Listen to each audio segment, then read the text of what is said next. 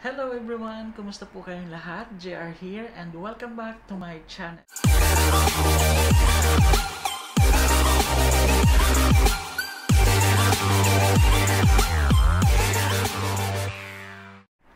So ayan guys, sobrang na-miss ko po kayo ang haba ng panahon na hindi ako nakapag-vlog just because ah, sobrang ah, dami ng trabaho at ah, dahil nga sa pandemya na to. But uh, but before anything else, I would like to say thank you so much. Maraming maraming salamat po sa lahat po ng mga subscriber na patuloy na nagsusubscribe at nag stay sa aking YouTube channel. Thank you so much po. Utang ko po sa inyong lahat. Yung yung 1,300 subscriber ko. Thank you, thank you, thank you, thank you so much po. At at sana po i-like nyo rin po ang aking Facebook Facebook page, JR Vlogs. At sana po supportahan nyo rin po. So, yun nga guys ngayon, mag-unboxing tayo kasi dumating na yung aking in-order na camera. Go, kinuha ko lang siya sa baba. Ito siya. Yan. So, i-unboxing natin siya. Dahil ang hirap mag, uh, mag-video na hindi camera yung ginagamit.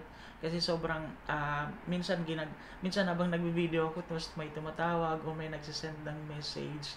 So, kaya pinag-ipunan ko talaga siya para makapag ma, makapag-produce din ako ng video camera.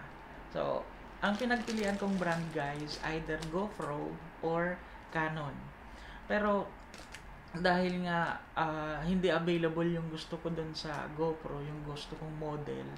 So, nagpunta na lang sa Canon. So, Canon yung pinag in-order natin. At ang pinagpilian kong model ay uh, G7X Mark II, G7X Mark III, M100, EOS M100, EOS M6 Mark II at, uh, at ang EOS M50 ang haba no. So dahil uh, dahil uh, limited lang yung budget at pinag-ipunan lang natin. So kailangan talaga maging magan, mag, kailangan maging wais sa pagpili. So kaya napili ko sa lahat ay ang M50.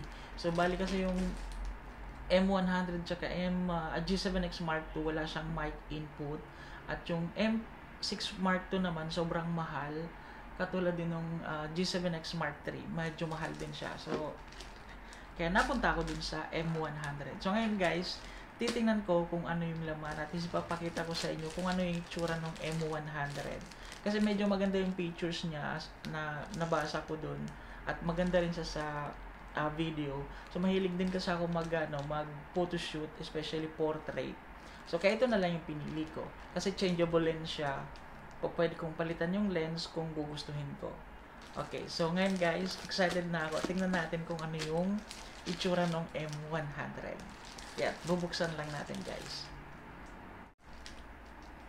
Yan, so ito na guys.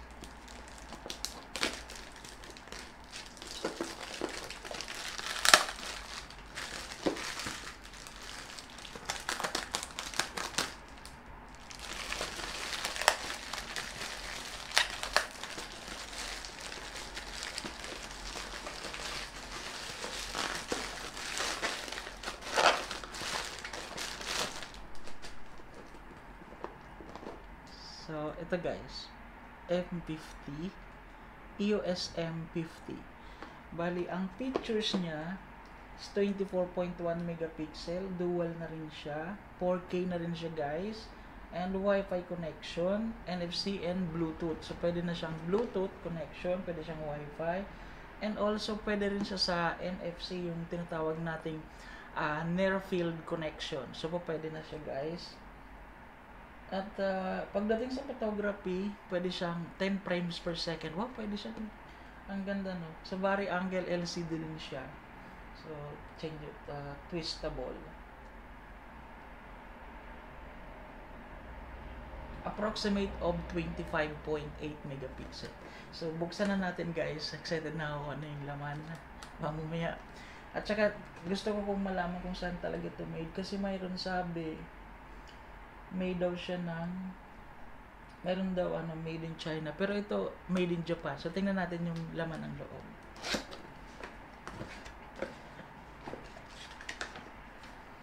so mayroon siyang complementary so kung pwede gusto mo mag kung gusto mo mag ano, mag enroll ng course nila pwede at one year warranty. Ayan. Warranty card. So, bali meron siyang 2 years warranty. Ayan. At ang kanyang manual. Yan.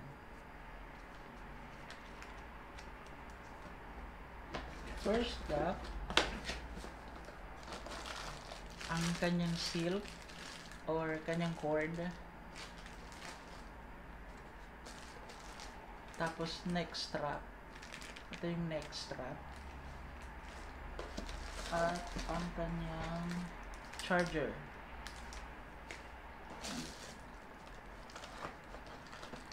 At battery.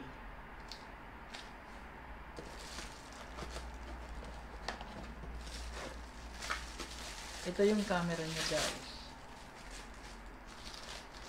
Tingnan natin. Wow. Yan.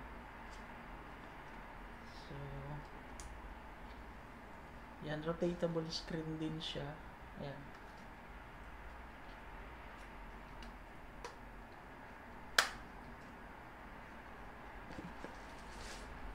Ayan siya. USM 50. So, ito yung mic connection niya. Yan. Nakikita niyo ba? Yan, mic connection. And then, uh, HDMI. Yan, HDMI cord. Pwede mo siyang inlet. Sorry. Wala. And then, on and off. Sa taas, so, yan yung selection niya. And then, pwede mo lagyan ito ng flash. At ito yung eye cup niya. Yan. And then, check natin yung kanyang lens. Wow, ang cute.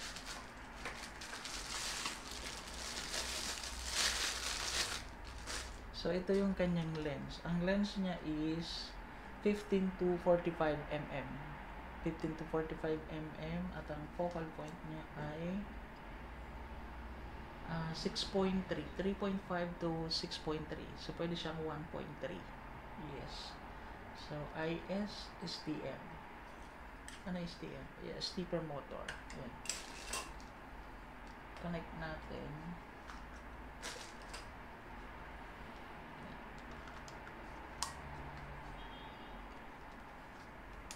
Wow. See? Ang cute niya, di ba? Ayan, oh. And then, try natin yung battery. Alam ko wala pang charge yung battery, pero try natin.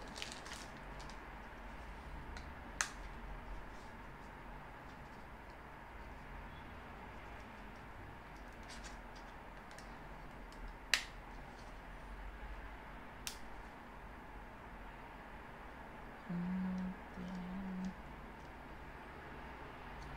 then- Guys. Kailangan, um, kailangan- Ayan.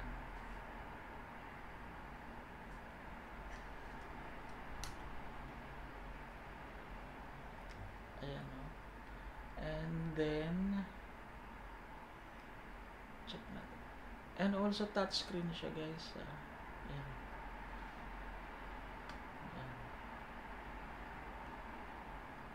Okay natin. Wow, you gonna see me? Ayan. So, yung cute niya. Ang ganda ito? Ayan. So, mas maganda kasi siya. Then, actually, may pinurchase na rin akong stand. Maliit lang siya. So, try natin.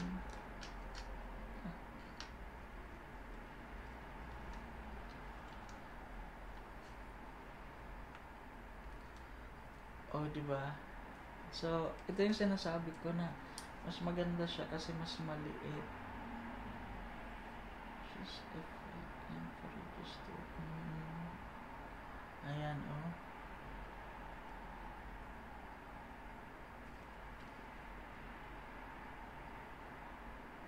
So then, uh, try natin sa video. Ayan yung video niya. Masyadong maliwanag. Ayan. So, mayroon na ako guys, camera. So, ito na, simula ngayon, ito na yung gagamitin natin pang record.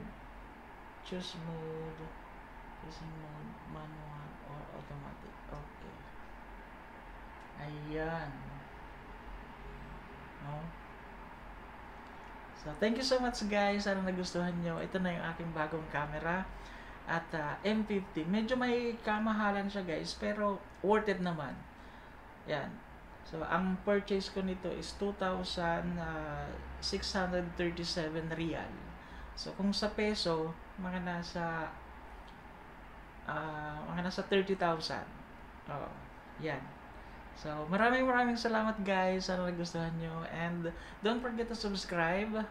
At supportahan nyo rin po ang aking Facebook page. So, maraming at uh, sana po patuloy nyo suportahan ng aking YouTube channel. Thank you so much. Bye!